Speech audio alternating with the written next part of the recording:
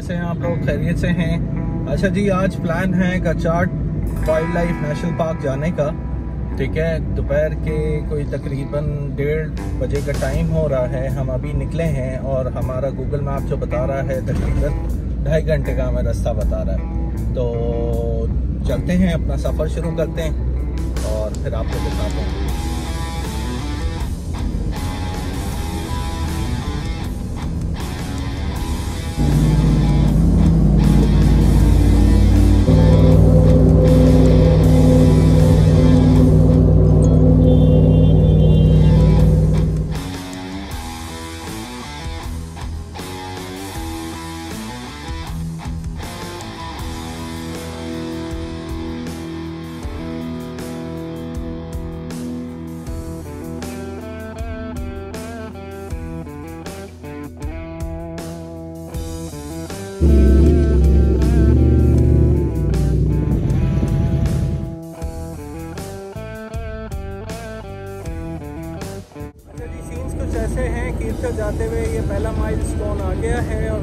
वो पहला माइल हमने कवर कर लिया है।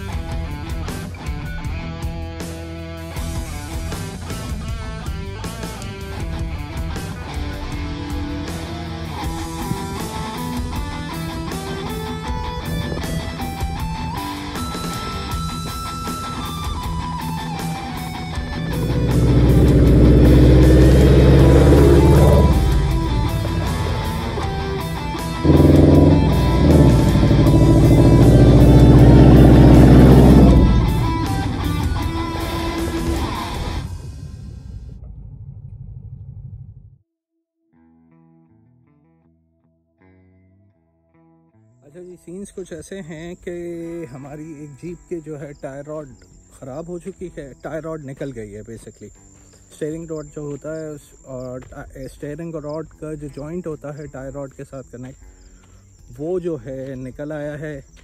अभी यहाँ से एक साहब गुजर रहे थे बाइक पे तो उनसे हमने रिक्वेस्ट किए कि अगर आगे कोई मैकेनिक हो तो उसको भेज दें।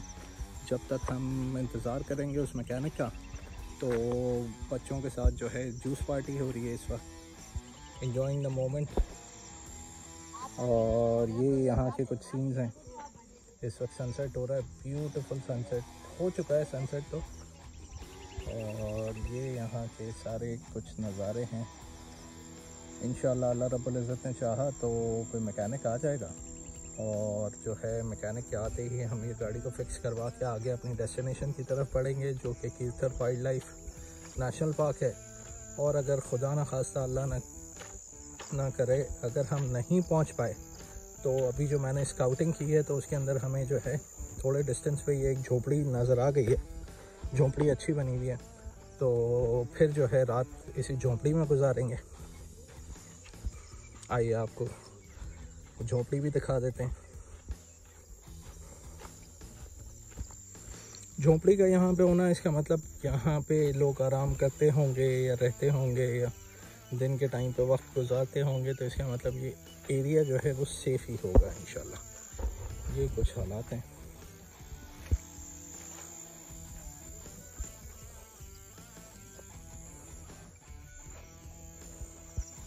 और एक ये शेड बना हुआ है, छोटा सा, पानी का कुछ सामान रखा हुआ है, और ऊपर यहाँ पे बिस्तर भी लगे हुए हैं, इसका मतलब यहाँ पे लोग सोते भी होंगे डेफिनेटली तो इनशाला बेड है ये।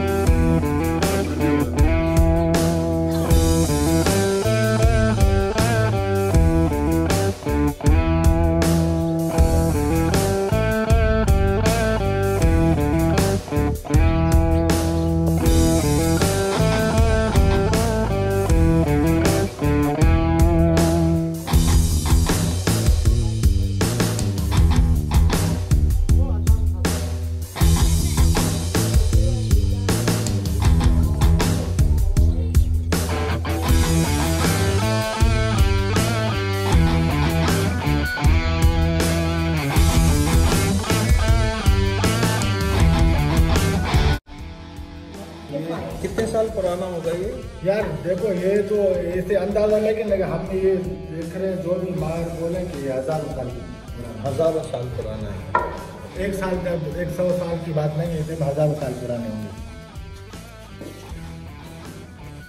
This is would turn into